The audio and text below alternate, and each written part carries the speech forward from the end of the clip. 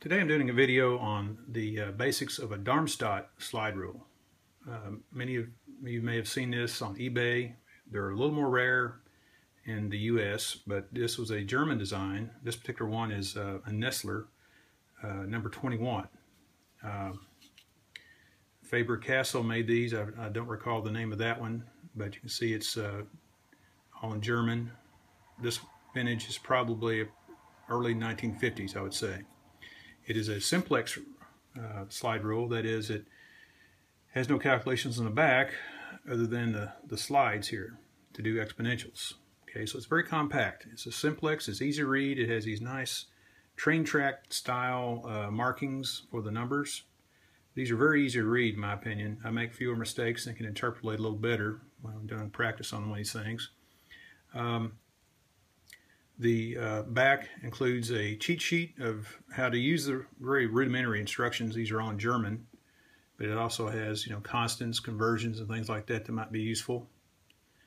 And uh, as you can see here, we've got exponentials on the other side of the rule. You could either flip this back over, and I'll show in a minute how to use it for making exponential calculations. But the advantage of this is it's compact. Uh, it has a ruler, log 10 scale on this on the top. Has sine and cosine on the bottom side, which is a little bit different for a slide rule. So it has a little extra cursor here that you can read off the, uh, the angles and then translate that into the to the D scale numbers uh, going from uh, up to maximum of 1. So it has 12 scales, very simple, but it I think uh, folks like uh, Wernher von Braun and Albert Einstein and uh, Sergei Korolev from the Soviet Union, the master of the Soviet space program, like these for their simplicity, doing quick calculations. Uh, of course, for more horsepower, an engineer in the 50s, 60s might use something like a K&E. This is a Decilon with multiple log scales. You can see it's very intimidating to look at. So uh, massive numbers here. So it, it, possibly, unless you're really you know trained to do this on this or on this type of rule, it might be very complicated, more room for mistake for doing simple calculations, possibly. Although very powerful, it's still one of my favorite slide rules. But for this one, it's, it's simple, easy to read. Uh, I can do a couple of quick calculations here. Let's say uh, we want to do a sine of uh, 19.5. We would, first of all, we can't do anything on this scale. We've got to go to the to this the side scale Sines are in the dark numbers, so 19.5. And it's hard to see on, on the camera, but there's a cursor there, and I'll slide it to 19.5 on the side and read off approximately 0.334 on the scale. And I think if you look at the the calculator, we get 0.3338. So very close, within three significant digits.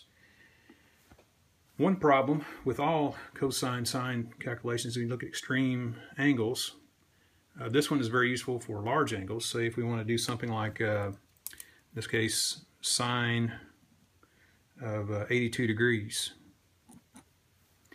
Okay, if we look at the cursor here now, it goes up to 80, 90, but it's very hard to do resolution on these. It's hard to pick them apart. I can get close to 82 here, I get 0.99 something, but it's very, you know, not, it's hard to, to get many significant digits out of the right end of the logarithmic scale. so they made provisions here for the p scale, sometimes called p, it's like square root of 1 minus x squared. Uh, but what you do is you read 82 not from the black numbers or the but from the from the red numbers, it'd be like I was reading a cosine. So I'd go here to 82, 80, 81, and 82. Instead of looking on the D scale now, I look at the, the bottom red scale, and I get here approximately, it's, it's, it reads from right to left, so a 0.99, almost 025. I can get almost five significant digits for that high number. And uh, I did previously in a calculator, I got 0.99027. So I get at least four significant digits from this method. Okay. All right, what about the case of an exponential? Let's try one I've already written down here, like something like 4 raised to the 3.5 power. A little bit different than the Darmstadt scale. What we do is first we go flip it over and we see, we just find 4. We don't do any kind of, it does the decimal points for you.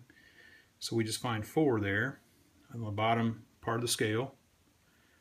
That's our base. Flip it back over. Go to the right index. Right now the right index is at about 0.72 or something like that, but we won't copy down that number. We'll just put our cursor there to mark it off where that is on the right index. Now we move our exponent up to that cursor. So what I say, 4.5, or excuse me, 3.5. Okay, so now I'm bringing 3.5 my exponent there. Flip it back over, and we should be able to read on the bottom here. It's hard to read sometimes, but I get about approximately 126 on that scale. It's kind of hard to make out many significant digits. 126, and uh, do it on the calculator. What do I get? I get 128. So I get about two significant digits doing exponents, which you do do sacrifice a little bit when you do exponents on any slide rule, but probably more so on this one since it's very hard to read.